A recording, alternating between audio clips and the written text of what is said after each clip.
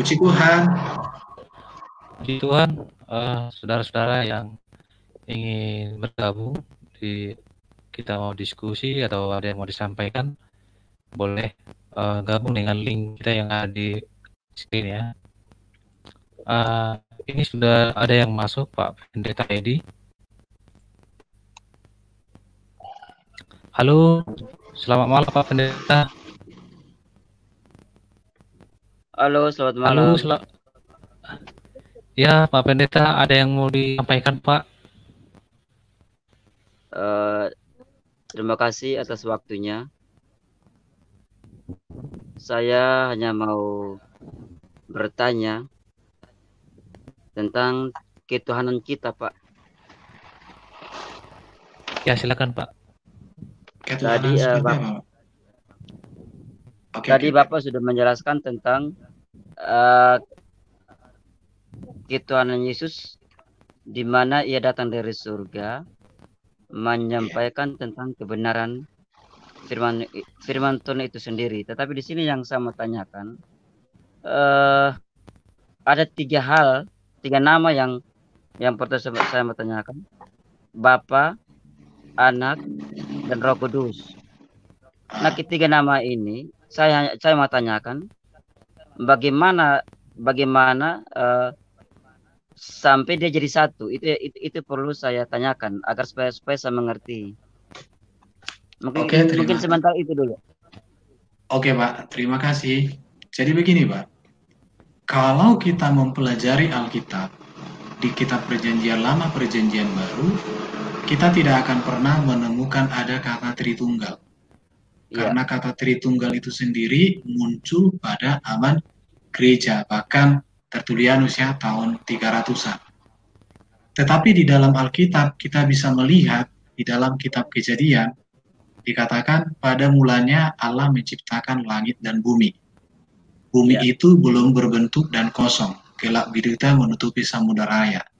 Roh Allah melayang-layang di atas permukaan air baru dikatakan berfirmanlah Allah. Jadi dari kitab kejadian pasal 1 ini kita bisa melihat Allah kita itu Esa. Allah yang Esa itu memiliki firman dan tentu firmannya itu ada di dalam dirinya. Karena firman itu kan logos kalau bahasa Yunaninya. Itu bisa diartikan ilmu, pengetahuan, pikiran, hikmat Allah.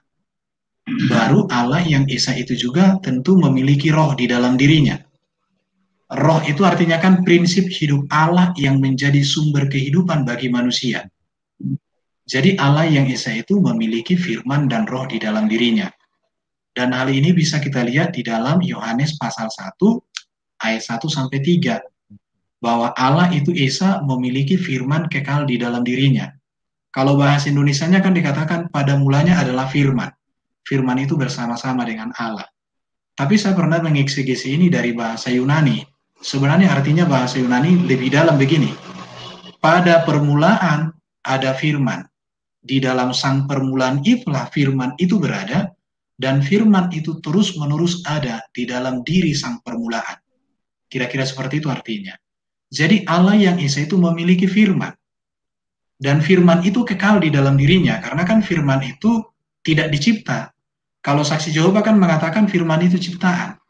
Tapi kalau orang Kristen firman itu kekal. Firman itu di mana? Di dalam diri Allah. Roh Allah itu di mana? Di dalam diri Allah. Jadi Allah yang kekal memiliki firman dan roh. Terus siapakah Yesus, anak Allah ini? Jadi anak Allah itu sebuah sebutan. Karena dikatakan di dalam ayat 14, firman itu telah menjadi manusia dan diam di antara kita. Dan dikatakan kalimat berikutnya, kemuliaan sebagai anak tunggal Allah.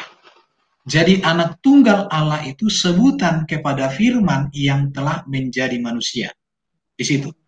Jadi Yesus itu disebut anak Allah karena memang dia firman. Karena firman berasal dari Allah di situ. Terus Roh Kudus itu siapa? Roh Kudus itu adalah Roh Allah. Roh yang berasal dari Allah. Tetapi ada orang bertanya begini, Roh Allah berapa? Roh Allah itu ya satu, Esa dengan Allah. Tetapi bagaimana roh Allah ada di dalam kehidupan orang Kristen? Berapa miliar orang Kristen, tapi dalam dirinya ada roh Allah. Bagaimana dengan ini dikatakan? Di sinilah kita melihat bahwa kemahakuasaan roh Allah itu tidak dibatasi oleh ruang dan waktu.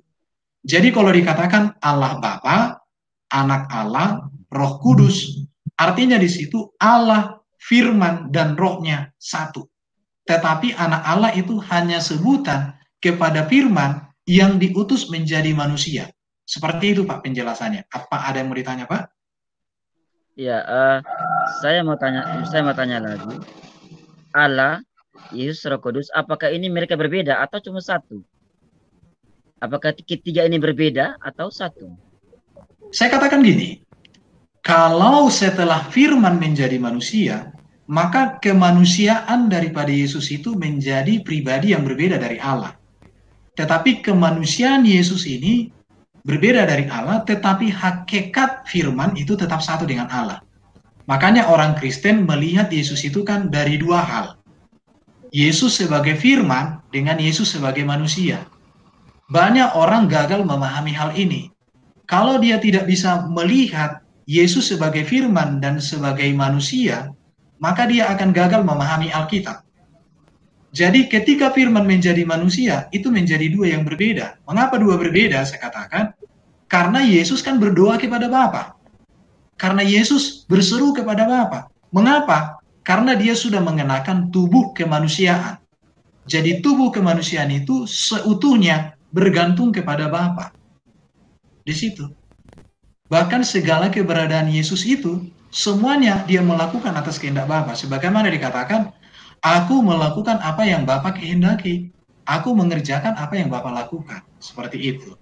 Jadi kalau dikatakan apakah berbeda, saya harus katakan Allah itu Esa memiliki firman dan roh di dalam dirinya. Dan Yesus itu adalah firman yang datang diutus oleh Allah menjadi manusia. Ini data Alkitab yang sangat jelas sekali, Pak. Oke, Pak. Ada lagi, Pak? Atau bagaimana? Oke, kalau kalau memang begitu, di, di sini di sini kan banyak orang yang bingung tentang uh, tertunggal orang orang Kristen. Sehingga iya. di sini banyak banyak yang berdebat, banyak yang mem mengatakan bahwa uh, Yesus itu bukan Tuhan, tapi dia itu cuma nabi atau utusan Allah itu sendiri. Nah, sedangkan kita orang Kristen mengatakan dia itu adalah Tuhan dan juru selamat. Sedangkan ada kelompok lain yang mengatakan itu bukan. Nah, di sini yang saya tanyakan supaya penjel apa namanya jawaban yang pasti yaitu ialah mengapa ketiga ini namanya berbeda tetapi kita kita orang Kristen mengatakan satu dari Allah Bapa itu sendiri. Nah, di sini yang saya tanyakan mengapa mengapa sampai Tuhan Tuhan harus uh, menyuruh ke bumi dan dia harus dilahirkan seperti manusia biasa. Mengapa sampai dia harus dilahirkan dilahirkan seperti mana manusia dilahirkan.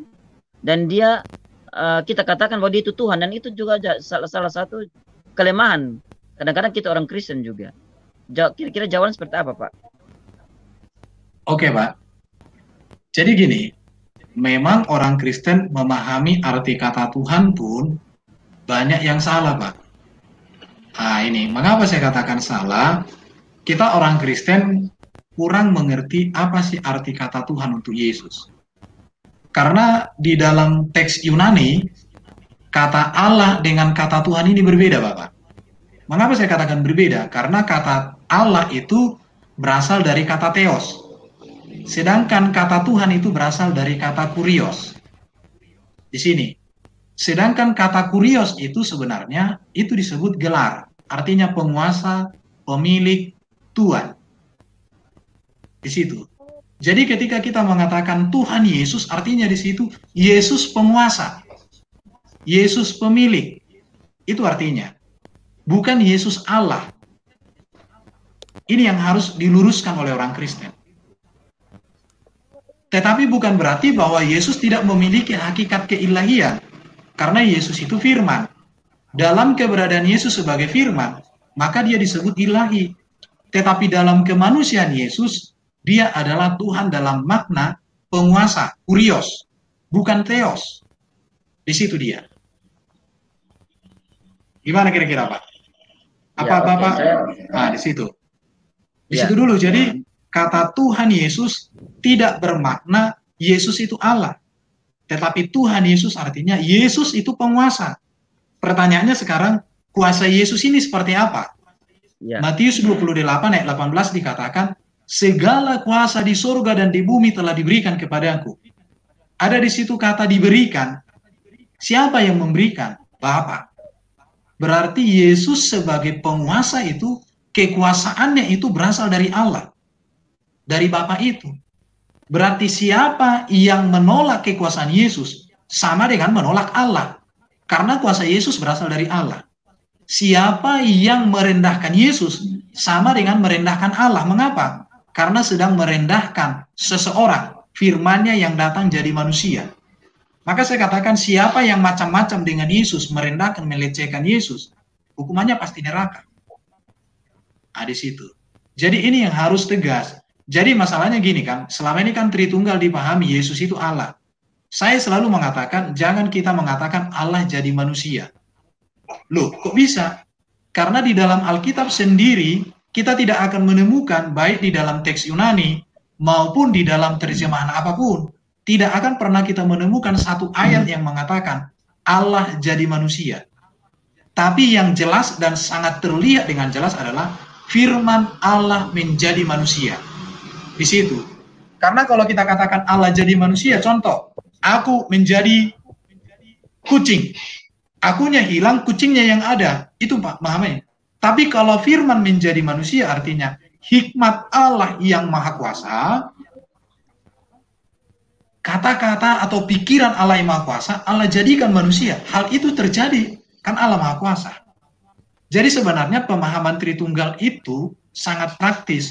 Cuma kita sering kali membuat ajaran ini menjadi bertele-tele. Karena begini, kita coba mendekati dari asumsi berpikir. Kita tidak mendekati berdasarkan data teks Alkitab dengan penggalian yang lebih detail. Seperti itu Pak. Ada lagi Pak mungkin yang mau diseringkan atau ditanyakan?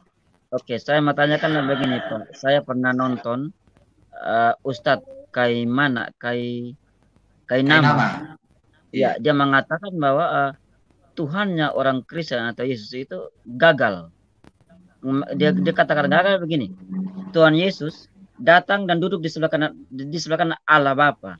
Artinya bahwa dia ini bukan Tuhan sebenarnya karena dia ada di sekarang di sisi kan, kanan Allah. Dia bukan dia tidak menyatu. Itu kira-kira hmm. jawaban seperti apa? Ya justru kalau saya katakan gini kan, ketika firman menjadi manusia, maka hakikat kemanusiaan itu tetap dimiliki oleh Yesus. Tetap ada. Bahkan di surga pun, Yesus itu hakikat kemanusiaannya ada, tetapi bukan lagi hakikat manusia yang panah, tetapi hakikat manusia yang mulia, yang agung, yang sempurna. Jadi makanya dikatakan di Alkitab Yesus duduk di sebelah kanan Allah. Kenapa? Karena firman menjadi manusia. Dan firman yang menjadi manusia itu tidak pernah kehilangan hakikat kemanusiaan. Justru hakikat kemanusiaan itu terus ada di surga sampai hari ini. Justru kalau saya katakan, makanya kan gini, Ustadz Kainama itu kan memahami bahwa Yesus itu Allah sendiri. Allah, berarti Allah, ada dua Allah dulu, sedang ngobrol-ngobrol. Padahal kita kan memahami Yesus itu firman menjadi manusia, dan kemanusiaannya tetap melekat pada dirinya, tetapi yang mulia di surga bahkan menjadi raja segala raja. Justru kalau saya seandainya dialog dengan Ustadz Kainame itu saya katakan, kalau Yesus Sang Firman menjadi manusia telah duduk di sisi Allah di surga dan penuh kemuliaan dan menjadi raja di atas segala raja dan akan datang sebagai hakim yang adil di akhir zaman, maka ini membuktikan tidak ada lagi keraguan akan keselamatan di dalam Yesus tidak ada lagi keraguan bahwa penebusan, bahwa kemenangan sudah dijamin oleh Yesus. Karena dia sudah di surga. Tapi memang kalau kita memahami Yesus itu Allah sendiri, maka ayat itu tidak akan bisa kita jelaskan sama orang muslim. Di situ Pak. Jadi karena banyak orang Kristen kan memahami Yesus itu Allah sendiri. Padahal Alkitab mengatakan Yesus itu firman Allah menjadi manusia. Apakah Yesus Allah? dalam hakikatnya sebagai firman, dia adalah Allah. Atau saya biasa sebut mengatakan, dia adalah ilahi. Tetapi dalam hakikat dia sebagai manusia, dia adalah manusia yang agung, mulia, kudus, sempurna. Tidak ada dosa satupun. Jadi tidak masalah, Pak. Kalau kita katakan Yesus sudah duduk di sorga, ya bagaimana dengan para nabi? Di mana mereka? Yesus sudah pasti. Berarti kalau mengikuti Yesus, suatu kepastian. Puji Tuhan. Tidak masalah itu. Itu yang saya imani dan itu yang hasil saya gali dari Alkitab, Bapak. Oke, begini Pak. Uh, kalau kita belajar Alkitab, uh, Yesus, Yesus pernah mengatakan bahwa Allah adalah aku, aku adalah Allah itu sendiri. Nah di sini di sini saya mau saya mau katakan begini Pak, mengapa pada waktu Yesus, Yesus naik ke surga, bukannya dia masuk di dalam kehidupan Allah itu, tapi mengapa dia harus ada di sebelah kanan? Ini jadi pertanyaan yang besar, Pak. Kalau memang dia satu dengan Allah, waktu dia naik dia harus ada dalam Allah dong. Jangan duduk lagi di sebelah kanan Allah. Artinya bahwa ini jadi satu pertanyaan bagi banyak orang. Kira-kira jawabannya seperti apa, Pak? Kalau kita memahami, saya pernah gali tuh Pak. Nanti bisa, tapi nanti bisa Bapak lihat di channel yang lain ada. Pernah saya gali, ya. kata satu di situ bukan dalam satu bentuk, ibaratnya Contoh Pak, saya dengan Bapak satu kan, satu bangsa, iya kan?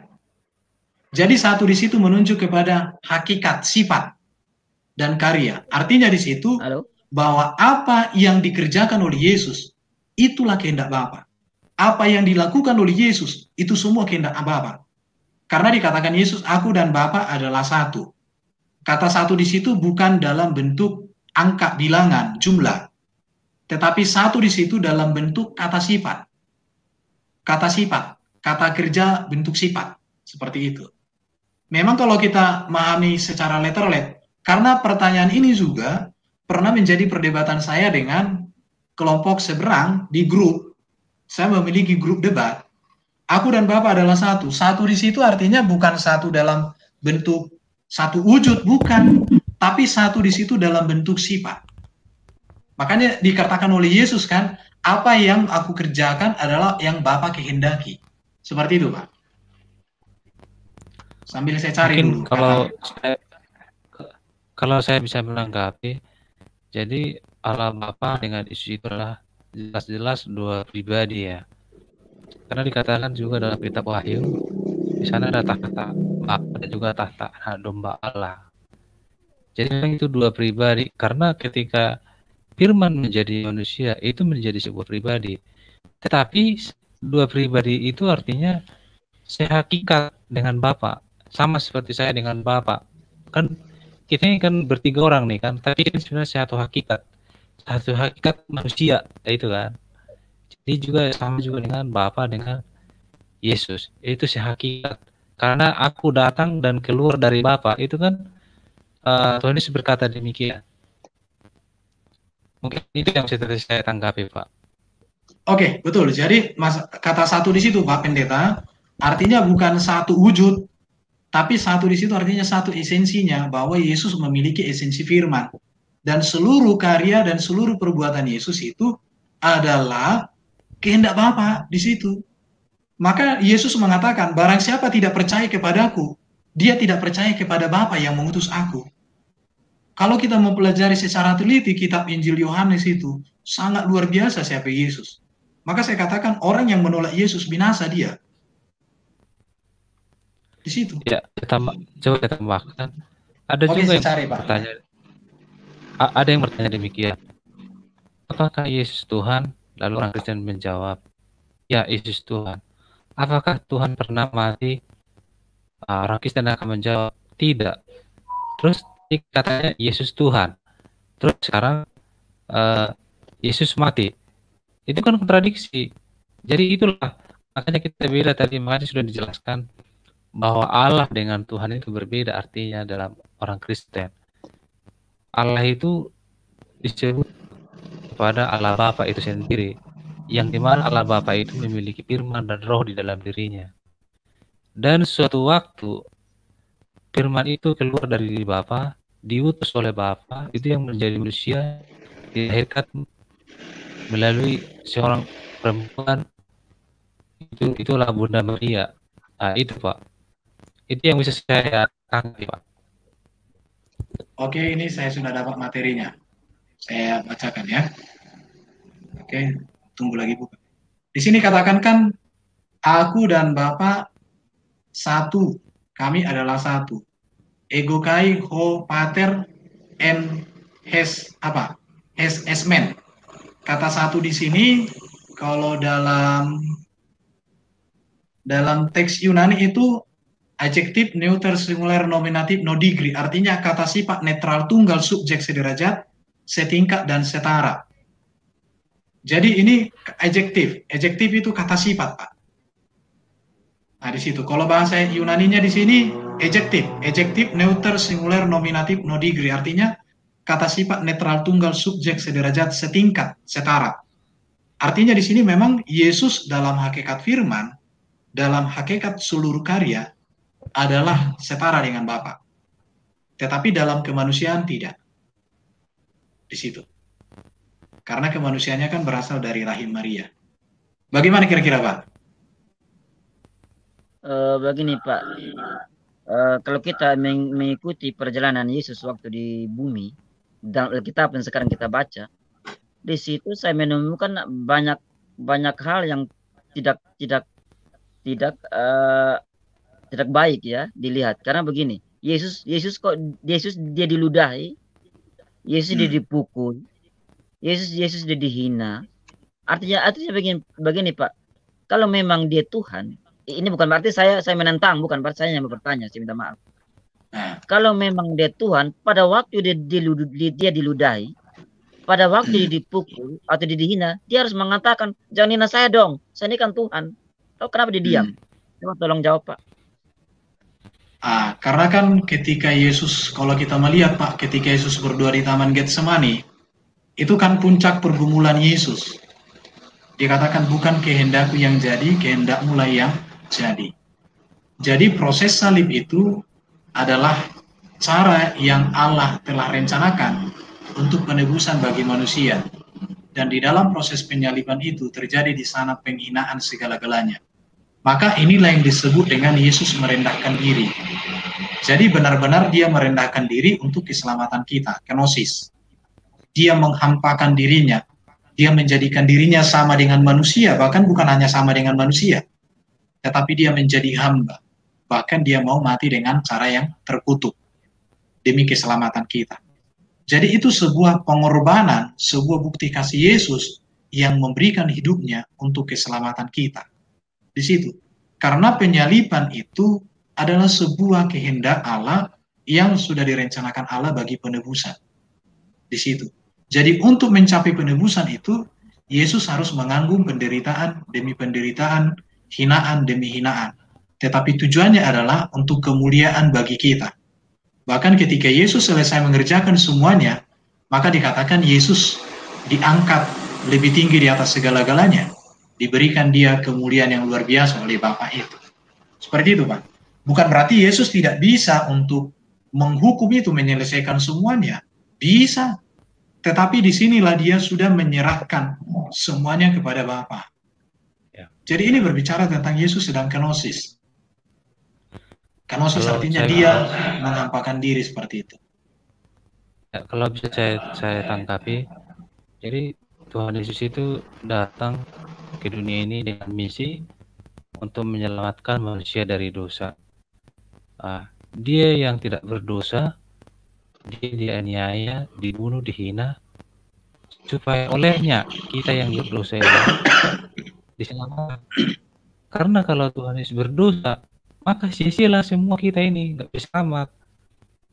Jadi dia harus tunduk kepada Bapa, menjalankan rencana ini uh, supaya olehnya dia yang sempurna itu dia yang menyelamatkan kita bukan karena dia berbuat dosa bahkan Pilatus mengatakan aku tidak menemukan sesuatu yang salah di dalam dirinya itu kan jadi artinya yeah. dengan tidak berdosanya Yesus menghadapi semua penderitaan itu membuktikan bahwa Tuhan setan itu semua salah sebenarnya ini menghancurkan setan bahwa apa yang dituduhkan setan kepada Tuhan itu salah. Jadi dia yang tidak berdosa me me menerima hukuman hukuman yang tidak diperbuatnya. Itu artinya. Jadi sehingga oleh dia kita bisa diselamatkan. Karena kalau dia gagal uh, melalui semua uh, penderitaan itu, maka gagal juga keselamatan kita semua. Jadi dia adalah melakukan kehendak apa yang mengutus dia. Itu loh Pak. Tujuannya adalah untuk menyelamatkan manusia dari dosa. Iya, ah, mungkin betul. itu Pak. Setuju. Ada ada bisa dikoreksi kalau salah. Saya setuju dengan hal itu, Pak Pendeta. Gimana menurut Pak Pendeta? Uh, ada, ada banyak hal yang yang perlu saya tanyakan Pak. Ini waktu masih bisa lanjut? Boleh, oh, boleh, boleh, boleh. boleh. Silakan, Pak. Silakan, Pak. Silakan, Pak. Oke, begini. Uh, waktu Yesus disalibkan, kan di situ ada tentara-tentara. Mereka mengatakan begini, Pak. Kalau memang engkau anak Allah dan Tuhan, selamatlah dirimu. Maka kami percaya. Mengapa Tuhan tidak menunjukkan kuasanya pada waktu itu, tapi dia diam? Alasannya apa, Pak? Oke, ini boleh saya tanggapi, Pak. Memang kalau kita melihat setiap pernyataan yang merendahkan, menghina Yesus, kita menemukan di Alkitab Tuhan tidak pernah siapa pun dia yang di sebelah kirinya kan tidak direspon. Tetapi Tuhan tahu isi hati setiap orang. Kalau dia berbalik, tadinya juga yang di sebelah kanan itu kan menghina, mengejek Yesus. Tetapi di akhir hidupnya dia sadar, saya yang berdosa, saya yang perlakukan demikian. Akhirnya dia berkata, jika engkau sudah sampai dalam kerajaanmu, maka ingatlah akan daku. Katanya kan. Jadi semua yang yang selalu setiap orang yang menunjukkan pertobatan itu di, langsung dijawab oleh Tuhan Yesus. Bagaimana dulu dengan serdadu-serdadu itu kan kalau kita baca seluruh perikop kita ini Pak, mereka kan bertobat Pak. Justru mereka yang memberitakan kabar kebangkitan itu. Justru mereka yang menjadi saksi hidup.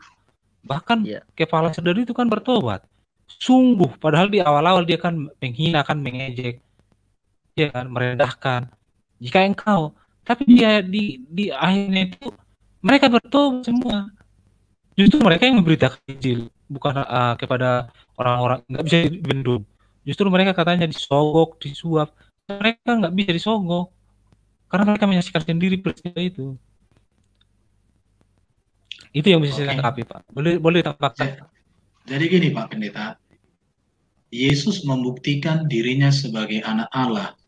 Tidak mengikuti kehendak manusia, bahkan tidak mengikuti kehendak iblis. Tetapi dia membuktikan bahwa dia anak Allah dengan ketaatannya kepada Bapa. Jadi Yesus taat kepada Bapa.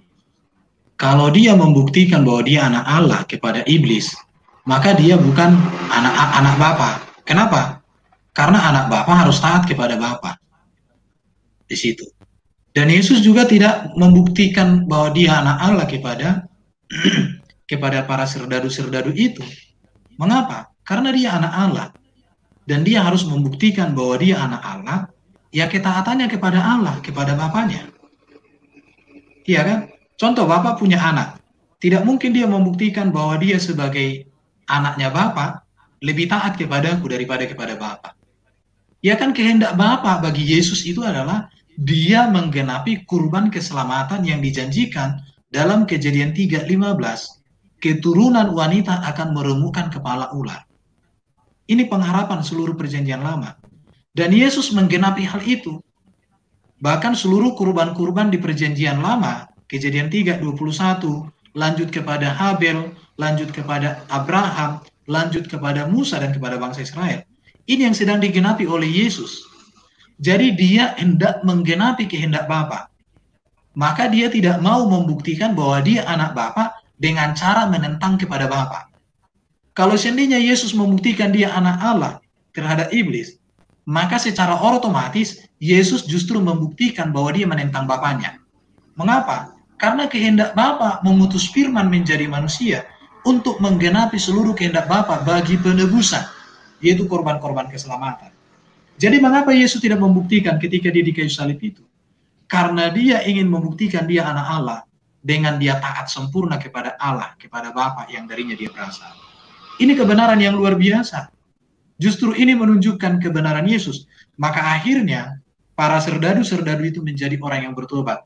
Kalau kita pernah membaca buku kitab-kitab sejarah gereja, para-para martir, orang-orang suci gereja, Para serdadu para serdadu ini kemudian menjadi martir loh Pak, memberitakan Yesus.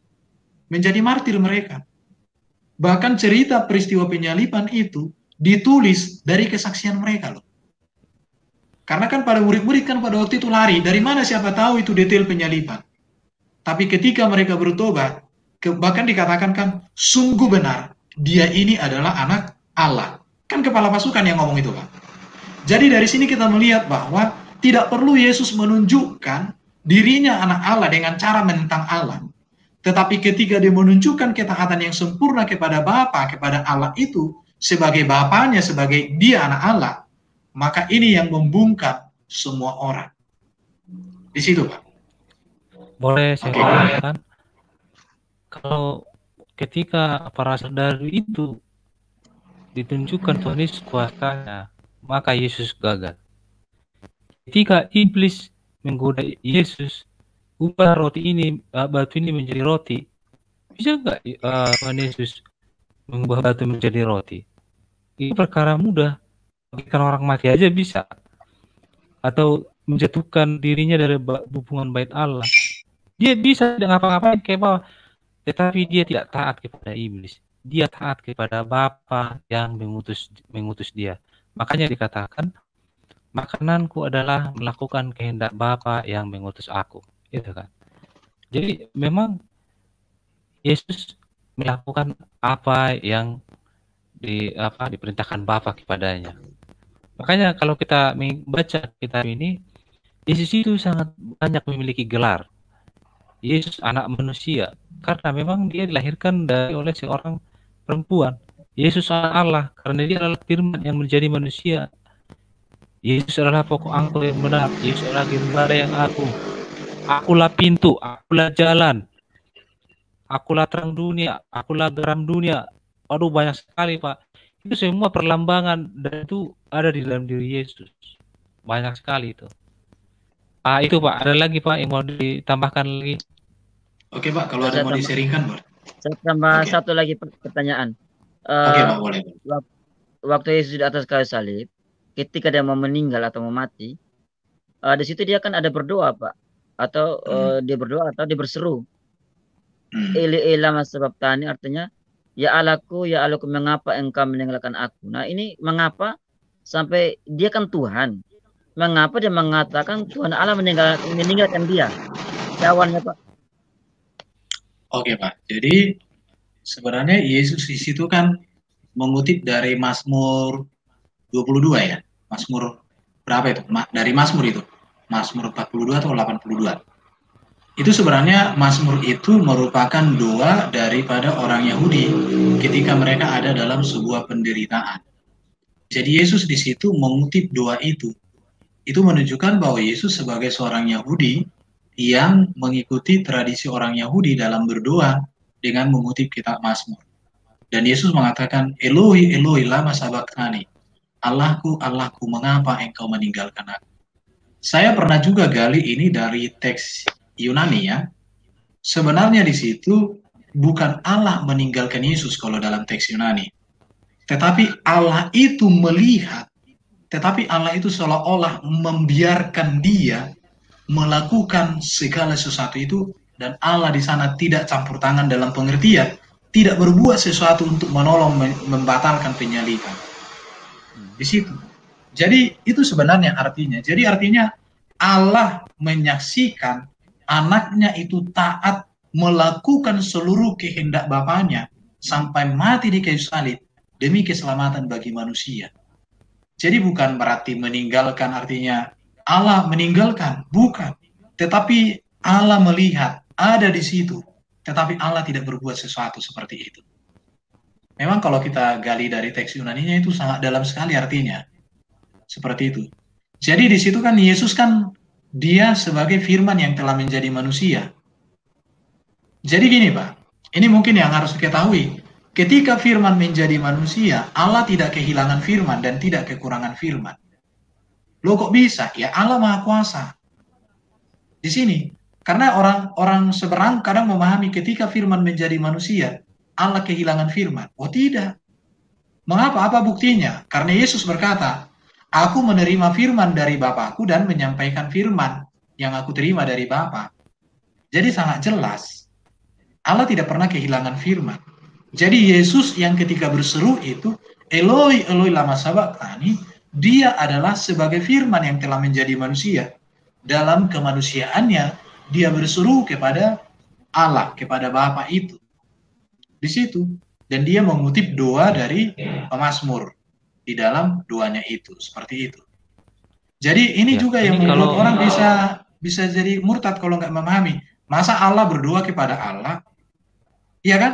Padahal yang benar itu firman yang menjadi manusia dalam kemanusiaannya dia bergantung dan berserah sepenuh kepada Bapa, kepada Allah yang darinya dia berasal. Itu yang harus dipahami orang Kristen. Tapi kalau orang Kristen nggak memahami ini ya susah, tidak bisa menjelaskannya seperti itu. Oke. Okay. Ya, ini boleh saya tanggapi. Kita tahu bahwa ketika Adam dan Hawa jatuh dalam dosa, uh, Tuhan sendiri yang menyembelih binatang untuk dipakaikan kepada manusia yang pertama itu.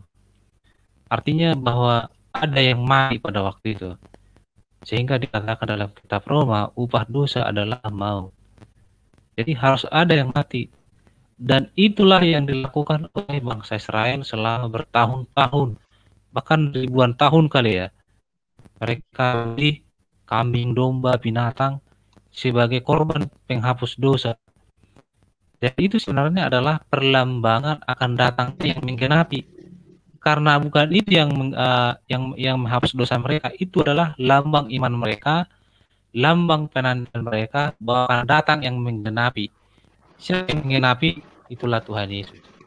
Jadi upah dosa adalah maut. Semua dosa manusia itu diting, ditinggalkan, ditinggalkan kepada Yesus. Dia yang tidak berdosa menjadi dosa supaya olehnya kita diselamatkan. Jadi makanya dibilang kalau Pak Lumba mengatakan jadi dibiarkan ma, ma apa mengalami mati supaya untuk menebus manusia itu dari dosa. Karena harus ada yang mati untuk menghapus dosa. Kambing domba tidak bisa itu adalah lambang iman saja itu bahwa akan datang yang menggenapi dan itu semua digenapi oleh Tuhan Yesus. Yesuslah anak domba yang domba Allah yang telah disembelih itu dikatakan dalam Wahyu ya. Ah, itu Pak yang saya bisa tangkapi. Boleh dikoreksi kalau salah ya. Oke oke setuju. Ada lagi Pak? Kira-kira mau kita sharingkan? Uh, begini Pak. Tadi Bapak, Bapak mengatakan bahwa Tuhan Allah tidak peduli sama Yesus pada waktu dia sengsara. Artinya bahwa uh, ketika dia sengsara di atas kayu salib, Tuhan Allah sengaja meninggalkan Yesus atau bagaimana Pak? Memang sengaja ia meninggalkan Yesus begitu? Allah mengizinkan Yesus melakukan seluruh kehendaknya dan dia melihat betapa Yesus itu menderita disaksikan. Disaksikan Allah tetapi Allah tidak berbuat sesuatu untuk ya. melakukan itu. Artinya di sinilah ketaatan Yesus yang sempurna kepada Bapa bagi keselamatan kita. Maka kalau saya memahami harga keselamatan kita ini sangat mahal sekali. Cuma banyak kan orang Kristen sekarang kan menganggap rendah keselamatan ini. Karena kemurahan dianggap murahan. Padahal sebenarnya kemurahan artinya sesuatu yang tidak bisa kita dapatkan, tetapi Allah memberikan dengan begitu murah, dengan begitu baik kepada kita, itu artinya kemurahan itu anugerah itu. Jadi kalau saya juga melihat wah ketika Yesus disalib uh, mati dengan cara mengerikan, ini adalah lambang dari suatu bahwa memang dosa itu sangat keji bagi Tuhan.